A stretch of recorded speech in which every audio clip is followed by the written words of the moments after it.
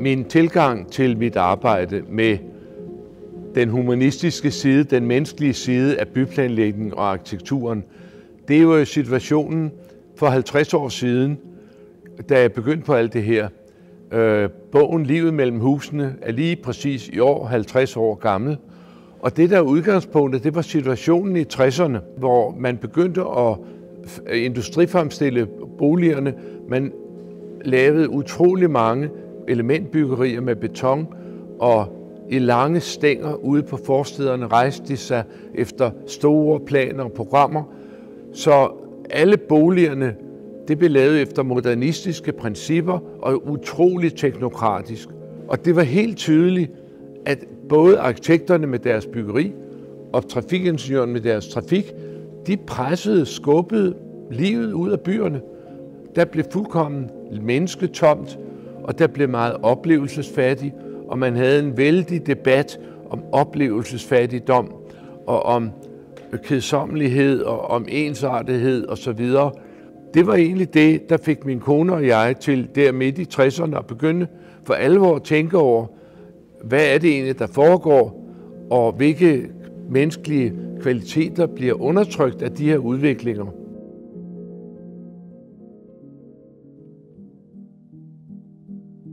Jeg fik et legat fra Carlsbergfonden til at tage et halvt år til Italien. Så tog min kone og jeg, vi tog til Italien et halvt år for at studere, hvad bruger mennesker egentlig uderum til. Og der fandt vi jo utrolig mange tegn på, hvor dejligt der kan være udenfor, og hvor meget livet udenfor betyder for livet indeni og for hele bykvaliteten. Og baseret på det begyndte vi begge to at studere. Min kone kom på Byggeforskningsinstituttet og skrev i 1971 bogen Bomiljø, og jeg skrev samtidig på Arkitektskolen bogen Livet mellem husene, og begge bøgerne vagte betydelig opsigt, for det var ligesom vendepunkter efter mange års teknokratisk byggeri. Nu er det jo så 50 år siden, at al denne forskning begyndte at komme. Der er jo kommet en hel del siden, og i navnlig er tankerne blevet udbredt enormt meget.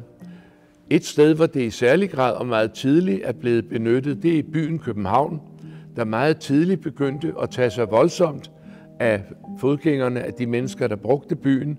Alle byens pladser blev ryddet for parkering, og alle byens pladser blev menneskepladser.